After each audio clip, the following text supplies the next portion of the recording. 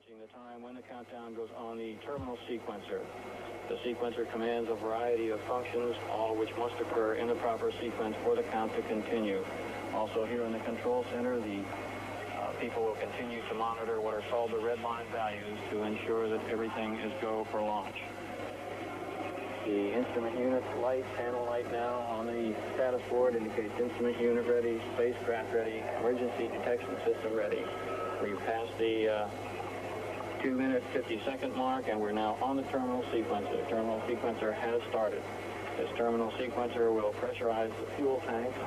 These fuel tanks are pressurized to ensure that as the fuels deplete, they're forced down for to assure an even flow into the engines. Fuel tanks are now being pressurized. The S4B, or third stage liquid oxygen tank, has just been pressurized, and the second stage liquid oxygen tank has been pressurized. As we move down through the count at the T-minus 17 second mark, we'll get a release of the guidance system in the instrument unit. Also handled by the automatic sequencer will be the release of swing arms number one and number two.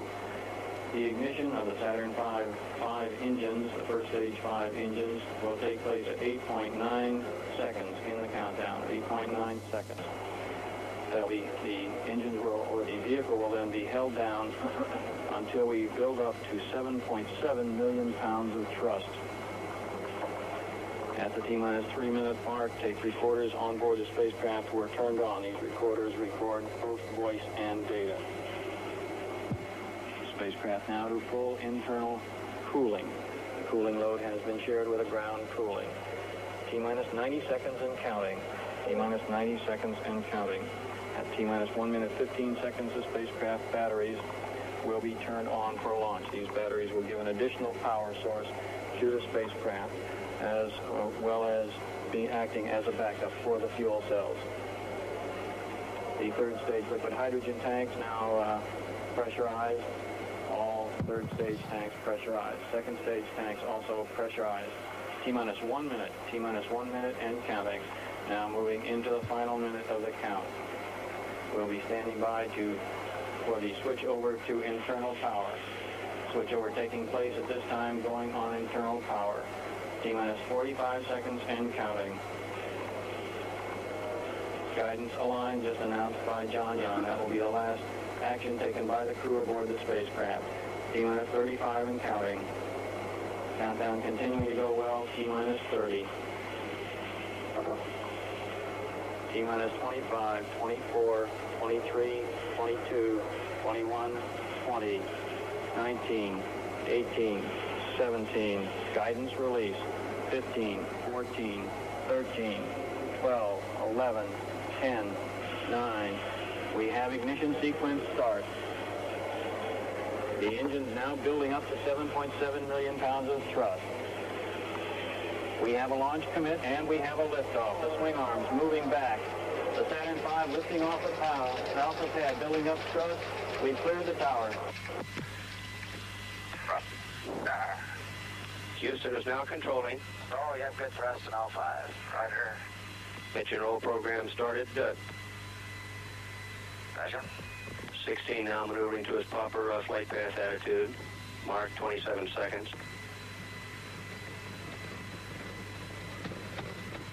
And the sound is just beginning to hit us.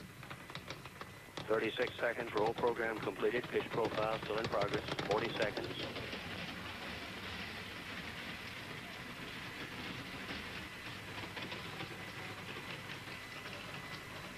Mark 50 seconds. Cabin pressure relieving. Adjusting now from sea level to a space environment. 2 nautical miles in altitude. Stand by. Hold 1 Bravo. Roger. Mark 1 Bravo. Zero feet wet now. 16. Roger. That's call up from Capcom. Gordon Fullerton says Apollo 16 now capable of water landing. Mark 1 minute 12 seconds coming up on period of maximum aerodynamic pressure on the vehicle. They're already over the speed of sound. 1 minute 22 seconds. 6 nautical miles in altitude. Looking good. Mark 1 minute 30 seconds. 8 nautical miles in altitude.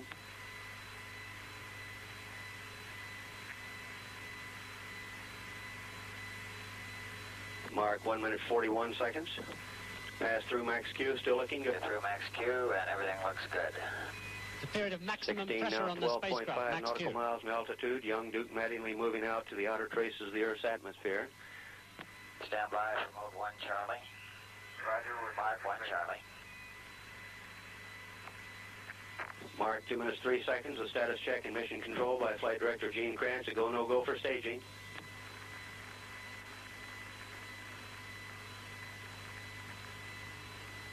Coming up on center engine shutdown. Center engine shutdown. board, you're go for staging. Ready for Center staging engine shutdown on time. 2 minutes 28 seconds, 26 nautical miles in altitude, uh, 32 nautical miles downrange. 10 seconds of shutdown. Separation. 2 minutes 35 seconds. Should really see it blow. 2 minutes 40 seconds coming up on staging. And there she goes. A crowd here cheering. Okay, ignition on the S2. Roger. 2 minutes 53 seconds. And almost staging. Yeah, young Duke Mattingly now riding on five good second stage engines. Go on all five on the S2. 3 minutes 2 seconds. The giant first stage falling away now. It's a day's work completed. Apollo 16 Eight now 46 to when the nautical miles in escape tower altitude, 80 nautical miles downrange. Coming up on skirt sep and uh, tower jettison. Go on time. Roger.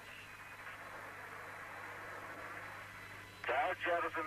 The tower's gone. Roger, and uh, we confirm your skirt's up. You're mode 2 now. Roger, mode 2. 3 minutes 28 seconds. The launch Already escape tower is ejected on time. feet. Its uh, surveillance role no longer required. 5,600 miles an hour and about 100 Steering miles downrange away from us. CMC is go. Roger.